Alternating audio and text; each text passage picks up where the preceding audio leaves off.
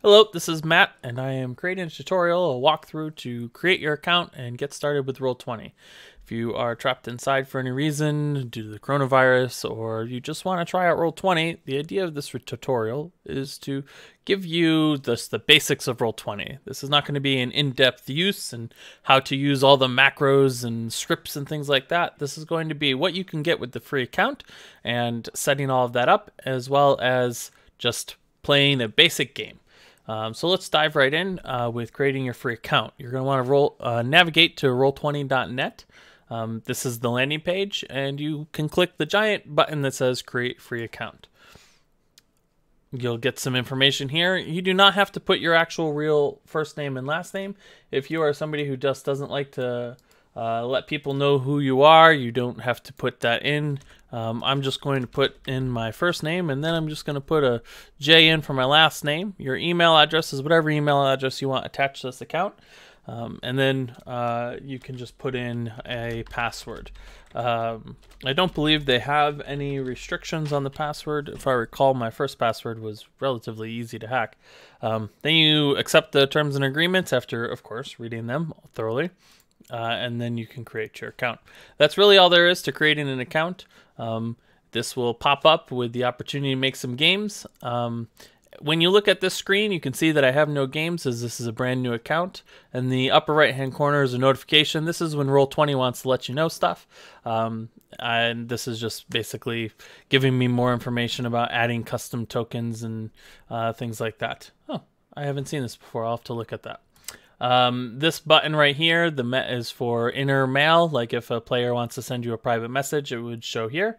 Um, and then this, of course, is where you go to your account, your profile, and stuff like that.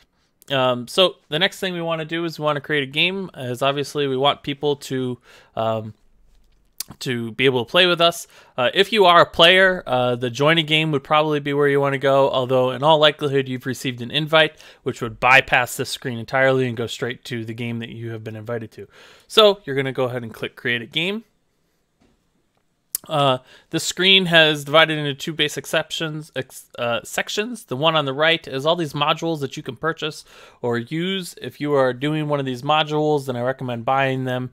Um, somebody made a lot, put a lot of time and energy into uh, into creating them. However, if you've already purchased the module uh, on uh, paper and you are using it, and this is just a, a side step so you guys can continue playing D and D while everyone is uh, quarantined. Then uh, later, um, I will show you how you can get access to some of these modules, but you are required to pay for the pro account in order to do it. Uh, but that is something we will do in a tutorial farther down the road. So, creating a new game, uh, you type in your game name. Uh, amazing game of amazement because my games are awesome and I can't spell. Thanks dyslexia. dyslexia. Yeah.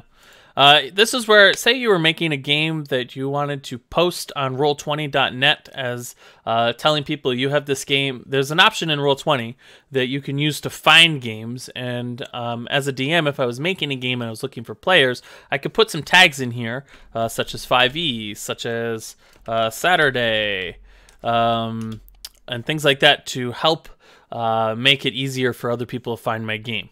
The other thing you want to do before you click that you're ready to create a game is you want to select what uh, sheet you use. Uh, this is best selected at this point um, because uh, once you make a game and start making characters, if you go to change your sheet, I have run into issues in the past changing my sheet. And so it's better to select it now and, and find one that you like and use that. Um, and if you don't like it, then make a new game or, or change it. But uh, I, in the past, have had to make whole new games to change my sheet when it just did not work well to change it.